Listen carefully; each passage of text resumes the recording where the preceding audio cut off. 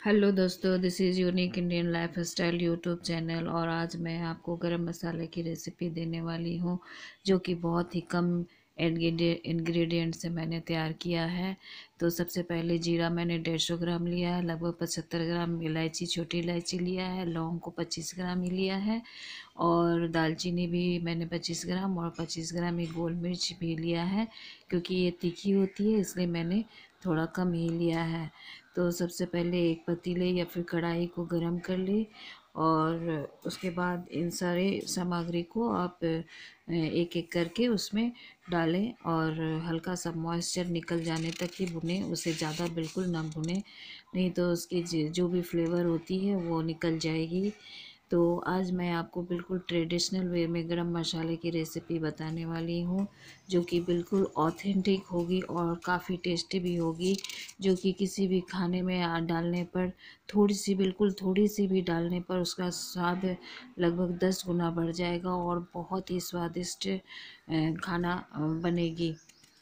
तो फ्रेंड्स इस गरम मसाले की रेसिपी को आप एक बार ज़रूर ट्राई करें, जो कि मैंने बहुत ही कम इंग्रेडिएंट से बिल्कुल पाँच सामग्री से ही तैयार करके दिखाया है, जिसमें कि बहुत सारे लोग इसमें तेज़ पत्ता, जावित्री स्टार एनिश वगैरह भी डालते हैं। लेकिन यकीन मानिए दोस्तों, इन पाँच सामग्री से भी आप गरम मसाला तैयार करके अपने खाने में चार चाँद लगा सकते हैं, उनके स्वाद को लगभग दस गुना बढ़ा सकते हैं।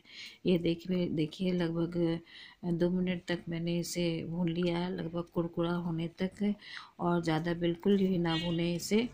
और भुनने के बाद इसे हल्का एक प्लेट में निकाल लें और उसे ठंडा होने के लिए छोड़ दें।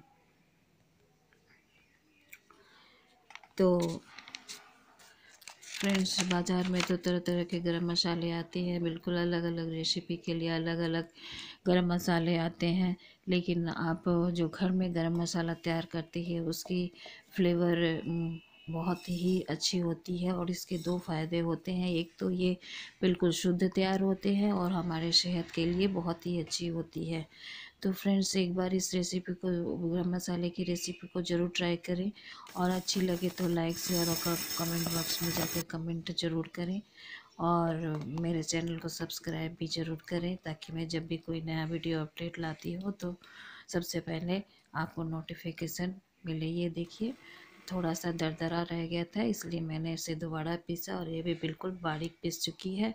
और इससे भी ज़्यादा अगर आपको बारीक चाहिए तो इसे आप छान लीजिए और मोटे वाले को किसी और रेसिपी में और पतली वाले को आप अलग रेसिपी के लिए रख लीजिए। अब ये देखिए प्लेट में डाल लिया है। अब इसे ठंडा होने के बाद मैंने डब्बे में बंद करके रख दिया है।